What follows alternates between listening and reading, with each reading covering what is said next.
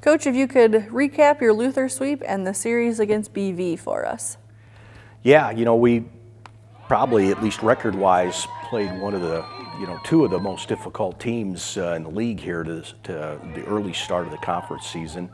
Um, went up to Luther and and uh, really have been playing good baseball. I think more than anything, we, we were starting to see uh, some position changes and, and uh, some things that we weren't necessarily doing the early part of the season when we were in Florida and, and the, the two Minnesota schools that came down when we were at home.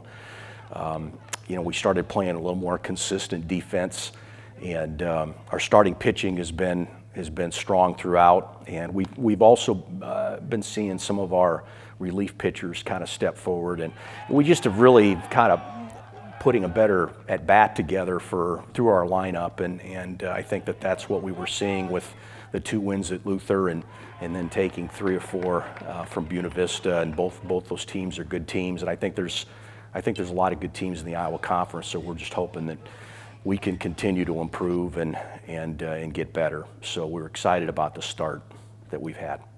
Thuman and Bolt swept the Player of the Week Iowa Conference honors. How did they contribute to the success last week?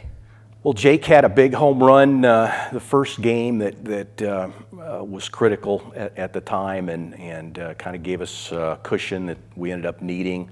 And, um, and Parker's been throwing really well all season, and, and uh, he had a he kind of had a rough first inning, um, and and came back and just was probably as dominant as I've seen him. Uh, and so it was a, it was a big start. Uh, and like I said, all, all four of our starting pitchers, I think, uh, did well and, and, and hung in there and gave us a chance to win. And, and uh, but both those guys, uh, Jake has kind of gone through some early season things with uh, his hitting, and, and he's really worked hard on, on trying to improve uh, there. And, and so having a good series against BV, I think, was real critical for him. And like I said, Parker has just continued to, to do a great job for us on the mound. You traveled to face Dubuque this weekend. What do you know about the Spartans?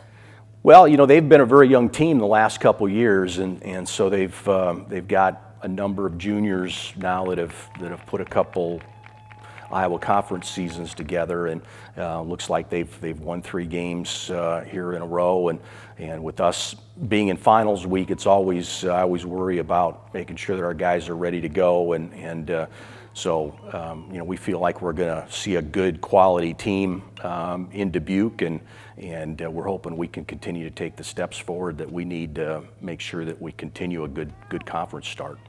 Great. Good luck. Thanks.